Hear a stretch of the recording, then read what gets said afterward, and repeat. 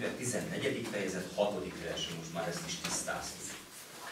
Hozzámentek pedig Jósuéhoz, Judának fiai Gilgálba, és mondta néki a Kenizeus Káleb, Jefunne fia.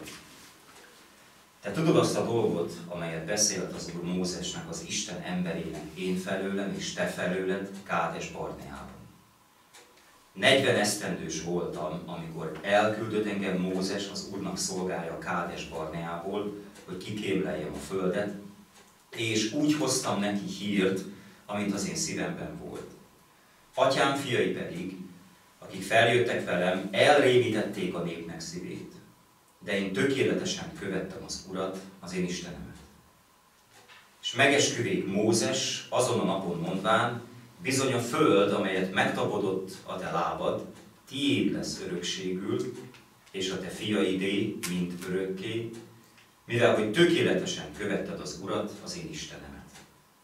Most pedig ímé megtartott engem az Úr életben, amit szólott, most 45 esztendeje, amióta szólott az Úr e dologról Mózesnek, ami alatt Izrael pusztában bolyongott, és most ímé 85 esztendős vagyok.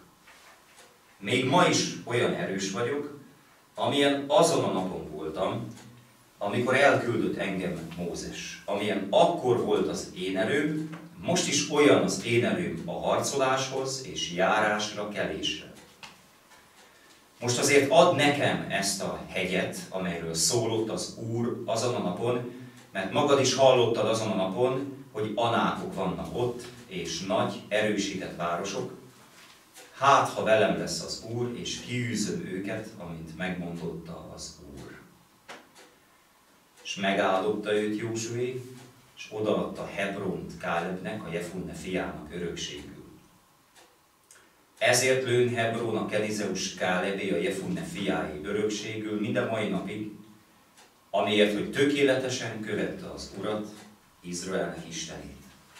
A Hebron neve pedig annak előtte Kíriát Arbá volt, aki a legnagyobb ember volt az anákok között. A föld pedig megnyugodott a harctól. Imádkozzunk.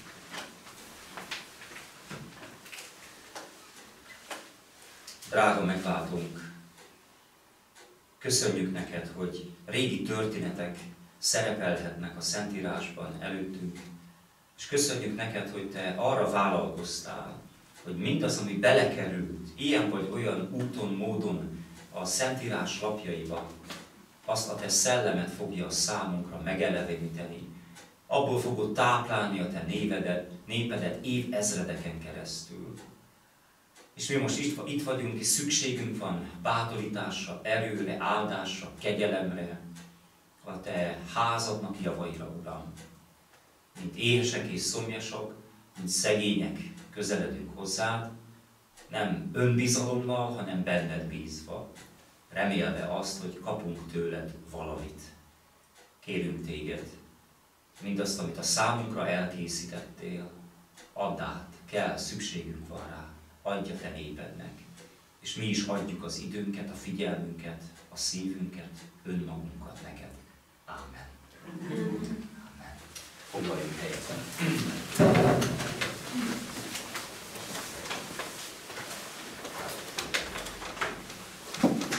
A korábbi években szóba került az, és Erzsikével ezt meg is beszéltük, hogyha elérkezik az idősek világnapja, akkor én ezt fogom szóvá tenni, vagy köszönteni az idősebb testvéreket. Hát, hogy ez eddig nem történt meg, az csak az én hibám, feledékenységem és figyelmetlenségem. Gondoltam, hogy azzal fogom pótolni, hogy nem csupán köszöntés erejéig eh, az idősekről fogok szólni, hanem egy egész igehirdetést szentelek most az időseknek, mert október 1-én volt ez az idősek világnapja, de mire aztán elérkeztem idáig, a gyülekezetünk be, akár most az én fiaimmal, vagy itt az erdei lányokkal, már nem is annyira csak öregek vannak, hanem fiatalabbak is, mivel az idősek e, már nem igen fognak megfiatalodni földi értelemben. Fordítva ellenkezőleg meg fog történni, ha az Úr hamarabb nem jön vissza, ezért aztán úgy hiszem, hogy mindannyiunk tanúságára fog szolgálni az idős Káleb életéről, hitéről, szóló igehirdetés, meg annak a tanulságai. Nézzük, hogy miben tud bennünket ez a történet bátorítani. Egy 85 éves, hitben élő és hitben megöregedett emberről van szó. Elmondja, hogy 40 évvel azelőtt ő milyen bátor volt, és milyen hívő volt, és elmondja Józsainak, hogy ő most már 45 éve ugyanaz az ember, mint aki volt, immár 85 éves. Mielőtt megnéznénk, hogy ennek az embernek milyen volt az időskori hite, vessünk egy pillantást az ifjúkori hitére, ha nem is annyira nagyon fiatalként találkozunk vele a Szentírásban, de az a 40 évesen történt esemény, az azért nem volt semmi. És nagyon fontos is volt. Káleb az egyike azoknak, akik elmentek kikémlelni Izraelnek a földjét, Kánán földjét. Ugye Mózesék eljönnek az egyiptomi rabságból, fogságból, megközelítik Kánánnak a földjét, és Mózes úgy dönt, hogy kiküldjön 12 kémet, hogy nézzék meg kedv csinálónak, hogy milyen jó az a föld, ahova. A kémek ki is mentek, minden törzsből ment egy-egy ember, egy-egy megbízott, egy-egy vezető, és a, a 12-ből 10 úgy tért vissza, hogy látták a, az áldást, tényleg egy teljel is mézzel folyó föld. De látták azt, hogy kiket kellene onnan kilakoltatni, kik az őslakosok. Na ezek aztán óriások, anáknak a fiai. És ezekkel mi nem fogunk elbírni. Úgyhogy összeadták az áldást, meg összeadták azt, hogy milyen ellenség várott rájuk, és akkor egyből egy az nulla, úgyhogy azt a következtetést vonták le, hogy nem fogunk bemenni a földre, és nem foglaljuk azt el. Hitetlenkedtek. Na, a hit meg a hitetlenség ereje a sokszor szemben áll egymással, még bennünk is, nem hogy ott a, a, a hívő meg a hitetlen kémek között, és kettő olyan kém volt, Józsué és Káleb, akik látták ugyanazt, mint a hitetlenkedő. Pontosan ugyanazt látták. Az áldást, a tejjel és mézzel folyó földet, nem látták jobbnak, nem látták szebbnek, nem látták többnek azt a földet, és látták az ellenséget is. Nem látták kisebbnek az ellenséget, nem látták törpéknek őket, nem látták gyengéknek őket, tudták, hogy a katonai haderejük, felszerelésük meghaladja az övékét. Úgyhogy ez pontosan ugyanaz a látás jellemezte mind a kettőt, de a hívő kémek láttak még egy dologgal többet, és ez nem is egy dolog volt, hanem valaki látták Isten, aki mellettük állt. De az Úr velünk van. Azt mondja, tőlük elfordult az Úr, velünk meg itt van az Isten. Úgyhogy ennyivel több volt a látásuk. És amikor már hozzátesszük ezt az összetevőt is, hogy az Úr, akkor egészen más eredmény jön ki. Akkor a következtetés, a végeredmény az nem nulla, hanem a következtetés az, hogy na akkor, noha erős ellenség van de Isten áldott földet adott nekünk, és ez az Isten velünk van, akkor induljunk el. Hát nagyon jól szemléltette ezt egy ige hirdető a gyülekezetében, megkért fiatalokat, hogy álljanak ki hogy sorba a gyülekezet elé, és adott nekik egy-egy írólapon egy nullás számot, amivel ki kellett állni, és volt egy neve annak a nullának, nem is tudom, hogy ifjúság. És akkor kiálltak, és elmondta az igehirdető, hogy látjátok, mi lesz az ifjúságból, most még szép és fiatal, de hát ez hamar vége lesz. Úgyhogy a végén az ifjúságból lesz egy nagy nulla. Aztán, nem tudom, emberi erő, vagy hát ilyesmiket sorolt fel, sokat sorolt fel a testvér. Jöttek ki a nullák sorba, és akkor mondja, hogy hát ez elég rosszul állunk, itt csupa nulla van, a, a bűn miatt, a hiúság miatt, az emberi gyengeség miatt, és akkor e, megkért még egy gyermeket, aki kiállt, és annál meg egy egyes volt, és úgy jött ki, hogy egy millió, és az egyesnél elkezdett beszélni ez az ige hirdető Jézusról. Na, Jézus már élt valamit, neki volt értéke. Ő, ő, ő már nem egy nulla volt, hanem nagyon is fontos tényező volt. És hogyha sok nulla elé oda tesszük az egyest, akkor óriásivá növekedik az egyes is a nullákkal, meg a nullák is egészen átalakulnak, és egész nagy számon belül. Na a kémek valahogy így szemlélték, ha magukra néztek, azt mondták, hát mi nullák vagyunk. De hogyha Isten ott van velünk, akkor egészen más eredmény jön ki. Egy ilyen hívő ember volt. A hitetlenkedő népet, amely akkor nem hitt a hívő kémeknek, meg az Úrnak, azzal fenyítette Isten, hogy 40 évnyi pusztai vándorlás után el kellett, hogy pusztuljanak. Sőt, sorozatban haltak meg, azok, akik 20 évesnél idősebbek voltak, a 40 év alatt sorban meghaltak. A 20 évesnél fiatalabbak, azok életben maradtak, tehát amikor a honfoglalás elkezdődött, a legfiatalabb zsidó ember 60 éves volt, két kivétellel, Józsué és Káleb voltak a kivétel. Tudjuk Kálebről, hogy 80 éves volt, tehát itt már a honfoglalás kezdete után 5 évvel zajlik ez a történet, amit felolvastam, és ez a 80 éves férfi, meg a kortársa Józsué vezették a fiatalokat, akik akkor 60 évesek voltak, vagy 50, vagy 40. Tehát így elhullott a nép, de ez a két idős, ez bemehetett. Milyen érdekes, hogy egy társadalomban csak két öreg van, igaz? Tehát azért, azért nekik lehetett tekintélyük. És a népnek az első számú vezetői voltak Józsué és Káleb. Az idős kort, testvérek, az határozza meg, hogy az ember hogyan élte le az életét.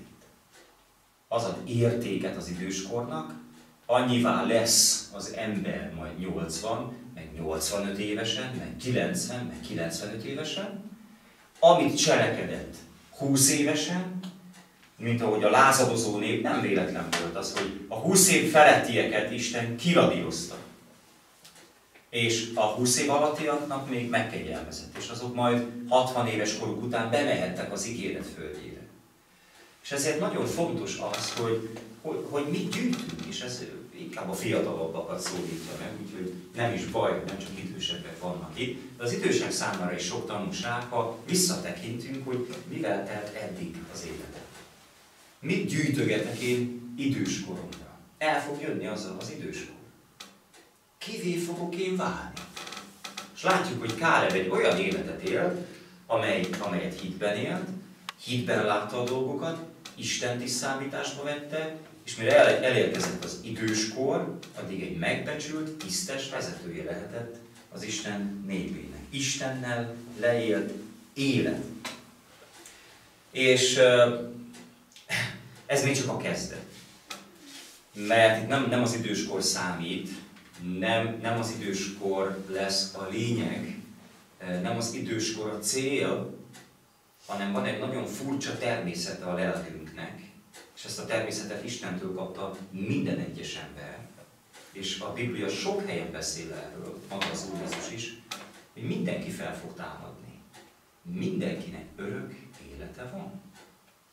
És akkor már, amikor nagyon-nagyon-nagyon idősek leszünk, ezer évesek, meg tízezer évesek, meg százezer évesek, akkor kivé leszünk. És az, az határozza meg, hogy amikor itt a Földön voltunk, akkor hogyan éltünk. A korábbiak határozzák meg a későbbieket. Az időskorunkat és az ifjúkorunkat, az örökké valóságunkat meghatározza, hogy itt a Földön hogyan éltünk, milyen döntéseket hoztunk. Az Úr Jézus beszél erről, amikor azt mondja, hogy lesz feltámadása igazaknak is, és gonoszoknak is. És kiki számot kell adjon arról, hogy mit cselekedett ebben a testben. Áldott az, aki az egész életét Istennel töltött. Áldott ember. Mert idős korában sem e, marad magára, és egy örökké valóságig az ő szeretet urával élhet. Ez egy csodálatos élet, amely fiatalként, ifjúként elkezdi az Istennel való együttjárást, és azután nincsen, nem szakad meg, nincs vége. Nagyon kevés ilyen testvért ismerek, akiről az a hír járja, vagy azt a bizonyságot teszik róluk, vagy ők magukról, hogy 9 évesen, 6 évesen, 10 évesen, 10 évesen megtértek, és töretlenül követték az Úr Jézust. És egész életen át vele jártak. Ezek, ezek nagyon-nagyon gazdag emberek. Na de mit tehet az, aki elpazarolta az ifjú évét? Mert azért vannak olyan emberek, akik nem töretlenül jártak az Istennel. És lehet, hogy ifjúkorukban nagyon szép lépéseket tettek az Úr felé, az is lehet, hogy nem is hallottak az evangéliumról semmit, nem is tudtak megtérni, nem is tudtak Istennel járni, mert nem voltak, nem voltak megtanítva erre, nem volt nekik hirdetve az evangélium. Mit tegyenek ezek az emberek? Nagyon fontosnak tartom, hogy azok számára, akik ezt felismerik, még ha nem is a legfiatalabb korosztályhoz tartoznak, a kegyelmi kapu nyitva van, a kegyelmi lehetőség nyitva van. A leges, legöregebb korban is át lehet adni a szívünket Jézusnak. És ilyenkor mindig eszembe jut nekem az a történet, amit a Bándi Sanyi bácsitól hallottam, az öreg botos néniről, aki mindig jajgatott, amikor kiment az Isten tiszteletről. És a Sanyi bácsinak nem tetszett. De hangosan jajgatott. Ment a kis görbe botjával, és feljajdult. És azt mondja Sanyi bácsi, hogy nem bírtam már egy idő múlva, és mondtam neki, hogy maga meg mit jajgat. És azt mondja, hogy én odaadtam a szívemet 20 évesen az Úr Jézusnak. Aztán jött egy kedves fiatalember, aztán annak adtam a szívemet. Elhagytam a gyülekezetet, elhagytam az Urat, összeházasodtam ezzel a kedves fiatalemberrel, pokollá tette az életemet, nem engedett a gyülekezetbe, nem foglalkoztam Istennel, nem foglalkoztam a Bibliával. Most, mire már csak a görbebotos éveim maradtak, és özvegy lettem, el tudok jönni a gyülekezetbe, végre élhetek az én megváltommal, újból áthathattam neki az életemet. De én síratom az én egész életemet, amit Isten nélkül éltem, amit Istennek adtam, aztán kivettem az ő kezéből. Ezért jajgatom. Azt mondja neki Bándi Sanyi bácsi, maga jajgathat magának megvan Aki az életét leélte Jézus nélkül, és csak idősen ment oda Jézushoz, az jajgathat. De nem csak jajgathat testvérek, hanem örvendezhet is. Mert az Úr Jézus nem azt mondja, meg bemerítő János, hogy térjetek meg, ti fiatalok, mert elközelített a mennyeknek országa. Térjetek meg ti vámszedők, vagy térjetek meg ti doktoráltak, vagy térjetek meg ti erősek, vagy térjetek meg ti sportolók, vagy térjetek meg ti fehérek, vagy cigányok. Azt mondja, térjetek meg, mindenkik, térjetek meg. És kiment hozzá egész Jeruzsálem környéke, egész Júdea, még Tírus Szidon vidékeről is oda mentek, és merítkeztek be az emberek, és tértek meg a János szavára, tértek meg a Jézus szavára, és el tudom képzelni, amikor hömpölygött az a nagy tömeg, kis gyerekek ott ugráltak, jöttek az asszonyok is a férjeikkel, egész komplett családok, szomszédságok, rokonságok, és el tudom képzelni az öregeket.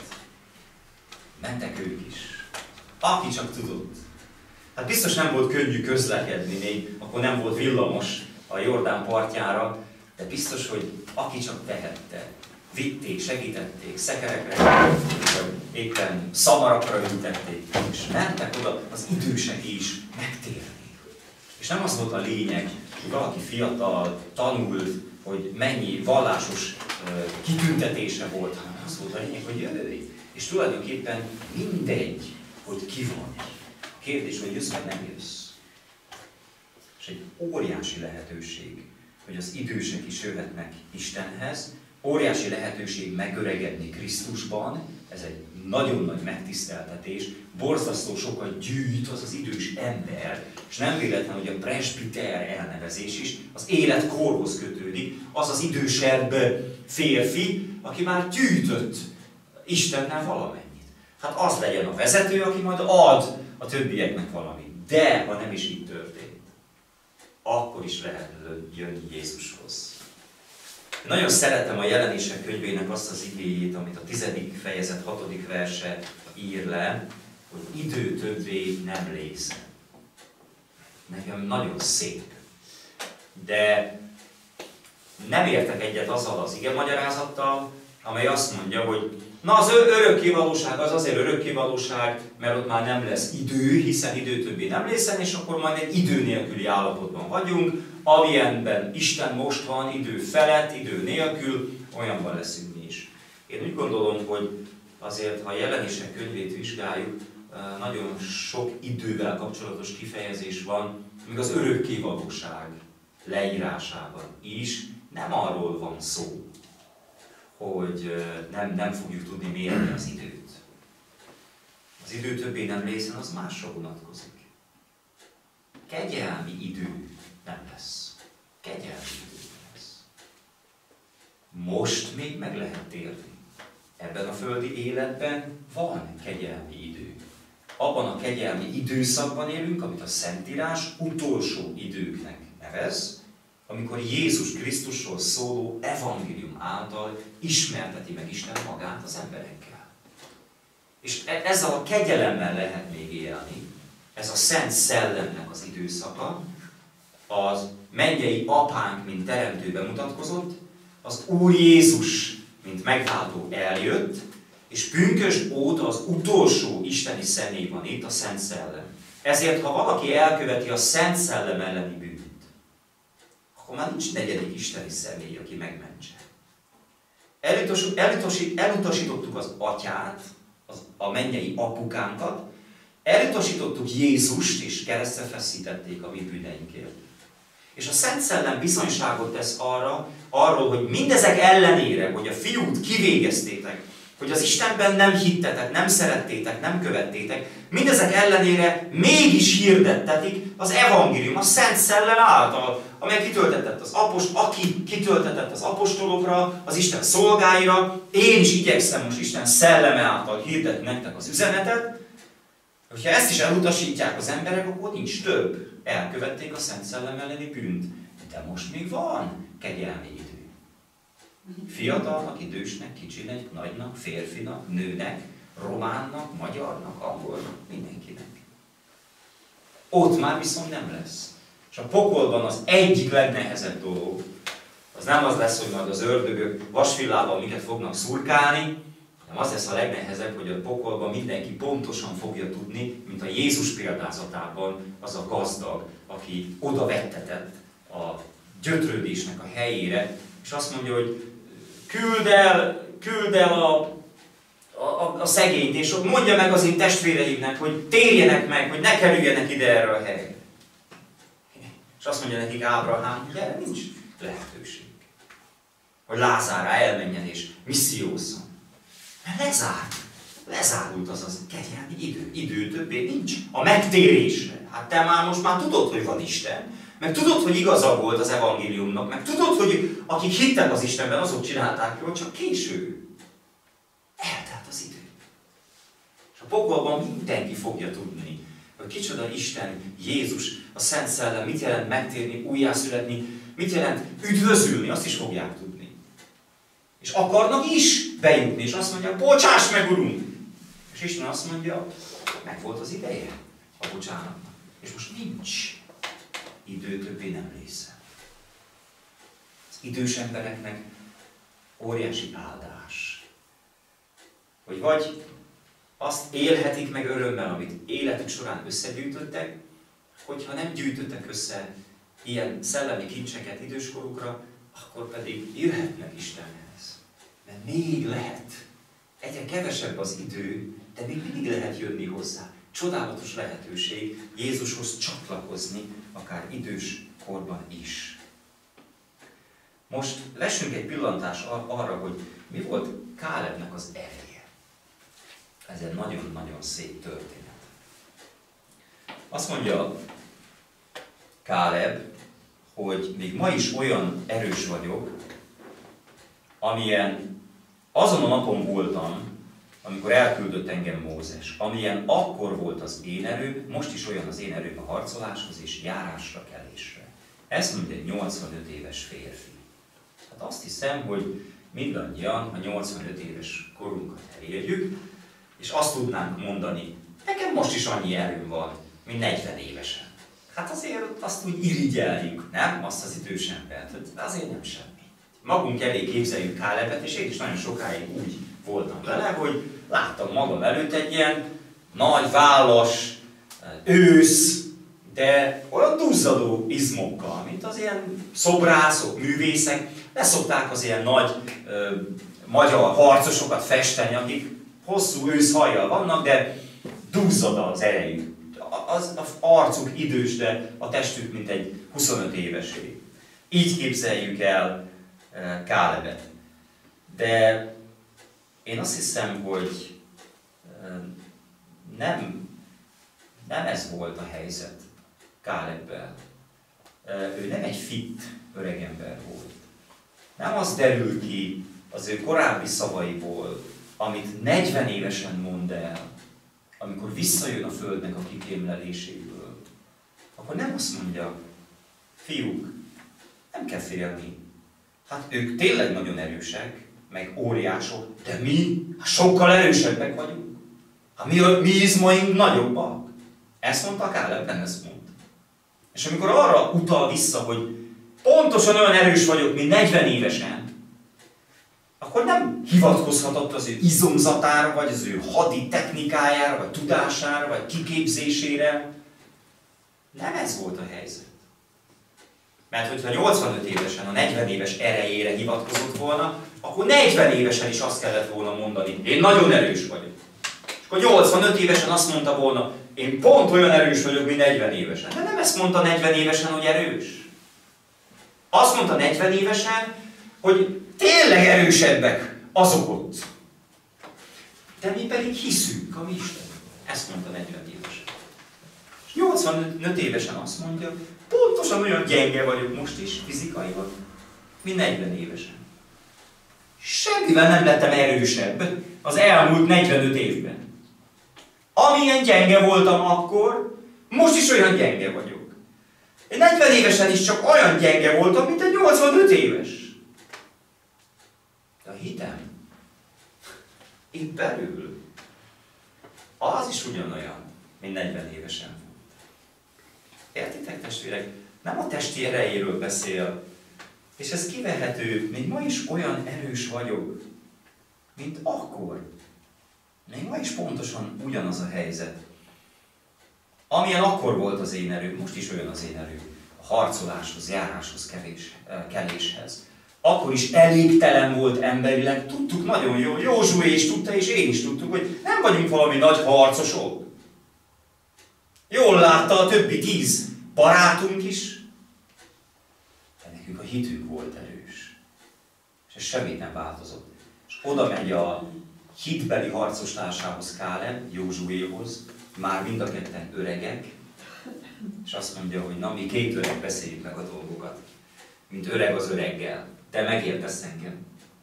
Tudod, hogy harmad gyengék voltunk 40 évvel ezelőtt, 45 évvel ezelőtt is, de készek lettünk volna harcolni a mi Urunknak a nevében.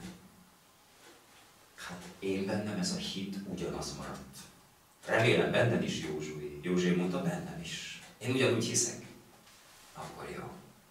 Akkor add nekem az óriások földjét. Mutassuk meg ezeknek a kicsiknek, ezeknek a kis fiatal 60 éveseknek, hogy nem arról van szó, hogy te erős vagy.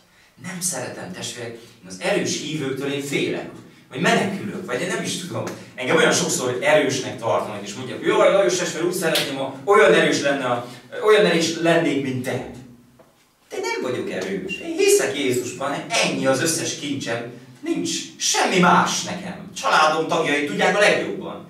Micsoda gyengeségeim vannak nekem.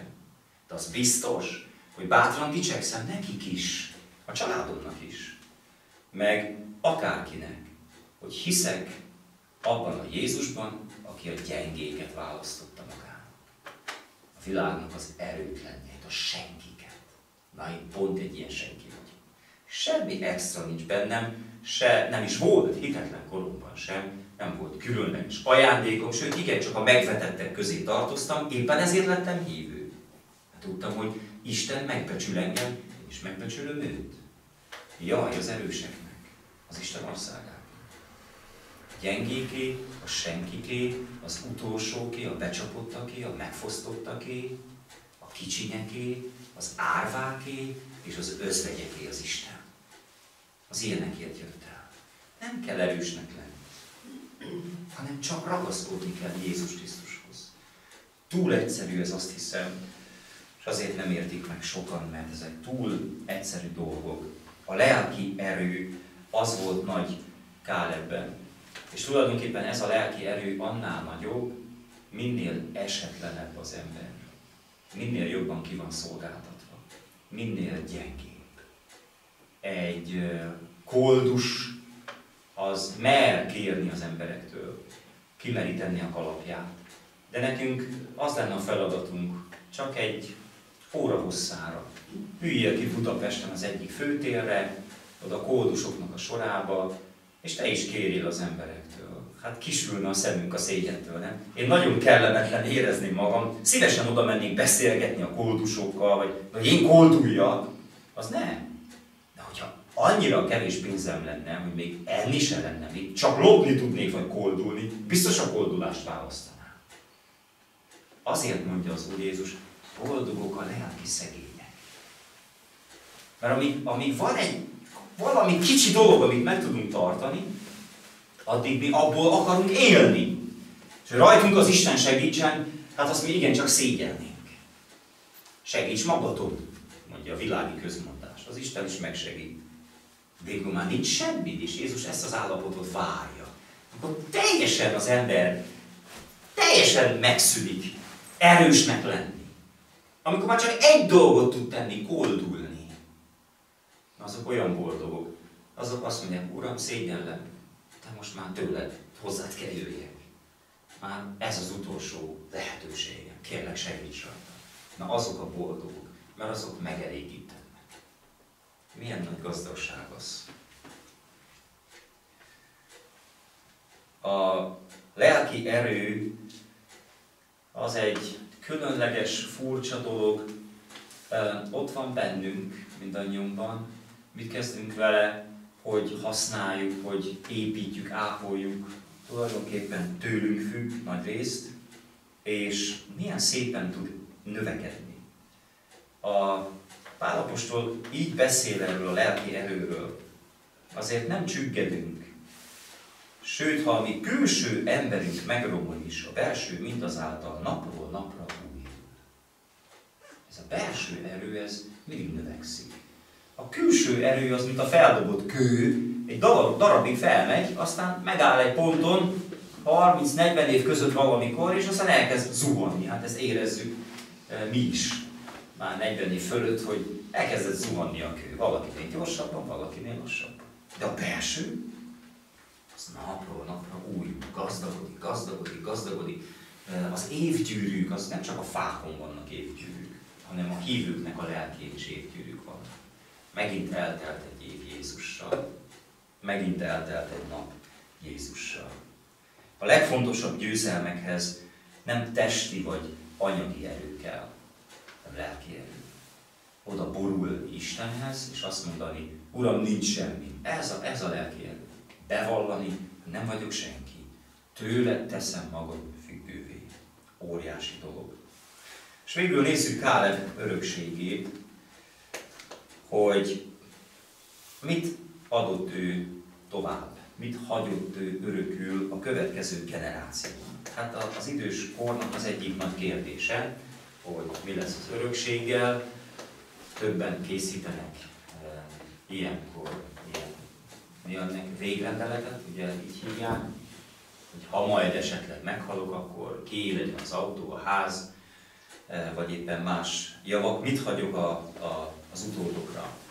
Káleb egy nagyon szép örökséget hagyott maga után.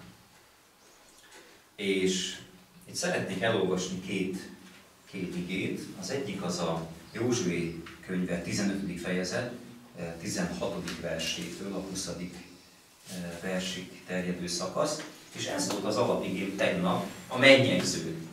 De most elolvasom itt is, mert ide tartozik. Józsué 15, 16, 20. És mond a Káleb, aki megveri Kirját Széfert és elfoglalja azt, neki adom Axát, az én leányomat feleségül. Elfoglalta pedig az Otniel Kenáznak, a Káleb testvérének fia, és néki adta Axát, az ő leányát feleségül.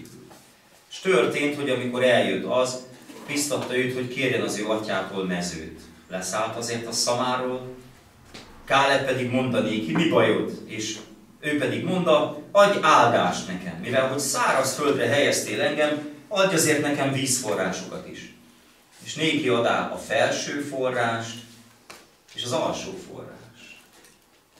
Azt mondja, hogy ha valaki leveri ezt a várost, Kírját Széfert, akkor odaadom neki a lányomat feleségül. Ha valaki meg tudja verni ezt az erősített várost, az csak egyetlen egy módon lehetséges, hogyha Istennel jár. Mint hogy én, amikor Hebron elfoglaltam, akkor Istennel jár.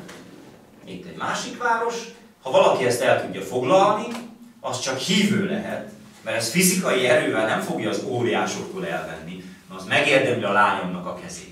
Hát elég jó módszer egyébként, a apukáknak ajánlom, hogy ilyen feltételeket állítsanak majd a jövendőbeli fejeik elé, hogy oké, ha ígyben teljesíted ezt és ezt az ugrást, akkor viheted a lányt, amúgy mindenféle jött-ment ilyen kigyúrt embernek, meg nagy okleveles hívőknek nem fogom odaadni, csak akik bizonyítják, hogy rátermettek. Nagyon szép. És oda is adta azt a várost is, egyébként Otniel kapta, a lányt is Otniel kapta, és az alsó forrásokat odaadta neki, a fizikai forrásokat. A várost, a megélhetést, a körülményeket. Nagyon fontos, hogy, hogy a mi életi, életünk biztosítva legyen. A pénz, az öltözet, a ruházat, ezek is fontosak. És Káleb tudta adni örökségként, biztosítani az ő utódainak a jó kis bölcsőt, meg a jó nevelést, meg mindent az unokátért, ugye. Jó kis vejem van, hívő vejem van, adok a lányomnak hozományt is, adok várost. De nem csak erről van szó, hanem a felső forrás is megerett. És ez a Bírák könyvében van, már a következő könyvében a Bibliának, a harmadik fejezet, hetedik versétől olvassuk. Gonoszul cselekedtek az Izrael fiai az Úr szemei előtt, és elfelejtkeztek az Úrról, az ő Istenükről, és a Baáloknak és Paseráknak szolgáltak. Ezért felgerjedt az Úrnak haragja az Izrael ellen, és adta őket Kusán Risatáimnak, Mezopotámia királyának kezébe, és nyolc évig szolgáltak az Izrael fiai Kusán Risataimnak. Ekkor az Úrhoz kiáltottak az Izrael fiai, és az Úr szabadítót támasztott az Izrael fiainak, aki megszabadította őket, ott nélt Kenász fiát, Káleb öccsét.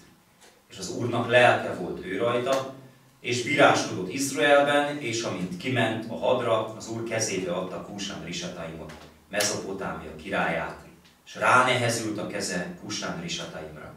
És megnyugodvék a föld 40 esztendeig, és meghalt Otniel, Kenász fia.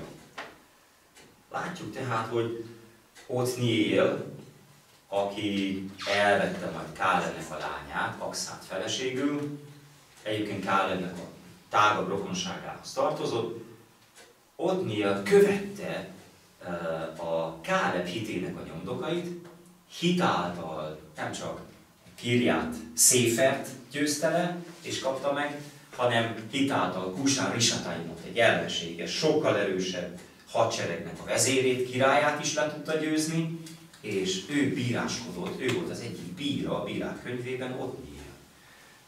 Káleb a felső forrást is adta. Ugye, hogy kérik el a forrás, Aksa és ott nél? Áldj meg engem, áldj meg engem. De ne csak pénzzel áldj meg engem, ne csak lakóhelyel áldj meg engem, hanem szellemi erővel is áldj meg engem. A felső forrást is áldj meg engem is. Káleb odaadta az alsó forrás is, meg a felső forrást is. És olyan, olyan jó az, hogyha egy idős ember, legyen férfi vagy nő, alsó forrás is tud adni a következő generáció. Ha valamennyit gyűjtött, ha valamennyi földje, pénze, ingatlanja van, vállalkozása van, nincs azzal semmi gond. A gond az, amikor csak az alsó forrásra törekszik valaki, de a felső forrásra nem. És ha valaki úgy kell meghalljon, mint amit az apostolok mondtak, az ékes kapuban ülő embernek, Bénának, hogy aranyom és ezüstöm nincs, de amin van, azt adom neked, akkor az ő mindig jobb, mint hogyha csak pénz dolgokat tudna adni. Aranyom és ezüstöm van nekem, de más nem tudok adni. Sokkal több a felső forrás. Aranyom és ezüstöm nincs neked, te kedves vejem vagy unokám, de van áldásom, Krisztussal jártam. És elmondom neked, hogy hogyan kell ezt csinálni. És te is jár, győzedelmeskedj. Te az örök életet akar biztosítani, nem a földi életet. Jó, ha kettő együtt van. De jaj, ha nincs meg a, a felső forrás. Csak az alsó. Milyen áldott az az ember, aki alsó forrást is tud adni örökségül, meg felső forrást is tud adni örökségül. Az alsó forrás a vér szerinti leszármazott, aki a felső forrás a szellemi gyermekek. Ma tehát először is arra bátorított az Úr, hogy ragadjuk meg az előttünk levő kegyelmet, életkortól függetlenül, amíg lehet. És milyen boldog az az idős ember, aki egész életében gyűjthet. Aztán arra, hogy ne a fizikai vagy az anyagi erőre támaszkodjunk és törekedjünk, hanem a lelki erőre, a hitre törekedjünk. Mert Kálebnek és Józsuénak ez volt az ereje. És végül arra tanít minket az Úr, hogy az alsó forrás mellett törekedjünk örökül hagyni a felső forrást is, úgy, ahogy ezt Káleb tette. Látjuk testvérek, hogy egy, egy ilyen viszonylag jelentéktelen eh, bibliai személynek, aki nem egy, nem egy hithős, nem, nem szerepel a hithősök sorában, nem emlegetjük Ábrahám, Izsák, Jákob mellett, vagy Mózes, Illés mellett, Kálebet. Mégis mennyi mindent tudunk tanulni azért egyszerű hívőktől akik azért Istennel sokra vitték. Én szeretem az ilyen megbúvó hithősöket, akik egy kicsit hátrébb állnak, és nem olyan előkelő helyen vannak, mert mégis valahogy mindannyian ilyen egyszerű vidéki emberek vagyunk, nem fővárosi nagy hívők, hanem csak így a háttérben. De Isten sok örömet tud bennünk is lelni, és mi is sok örömet tudunk ő benne lelni, legyünk akár fiatalok.